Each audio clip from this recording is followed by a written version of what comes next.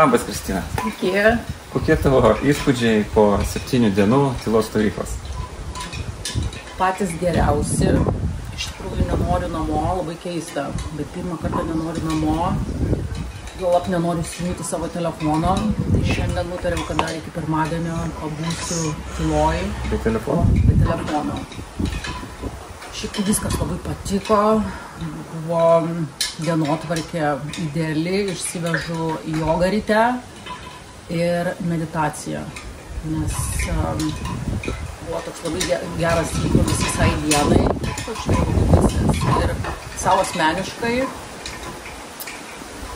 čia toks turi būti šešis mėnesius. Vat, Pagyveni šešis mėnesius, pasidarai tylos stovyklą savaitę ir toliau gyveni. Tad ačiū labai jums. Kas tau buvo sunkiausia?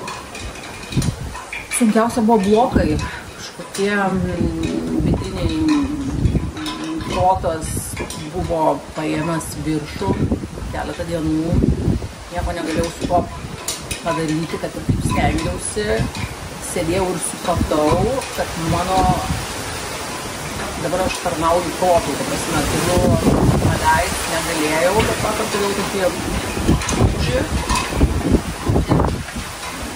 paverkiau, palengvėjo, kažko tai atsikračiau ir labai tuom džiaugiuosi.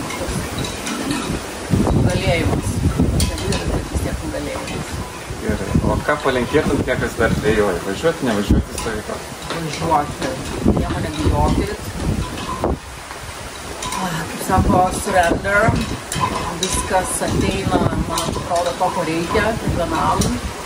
Tikrai verta pamatyti save iš kitos pusės ir suprasti, kad kartais tam gyvenime žmonėm atrodai stiprus, savim pasitikintis, bet čia palėti tokias vidinę savo kažkokias dalelytės, kur net nesupranti, kad gali būti toks vulnerable prasme, aplinkai. Kad važiuokit, e, viena iš pačių geriausių patirčių. Ačiū tau.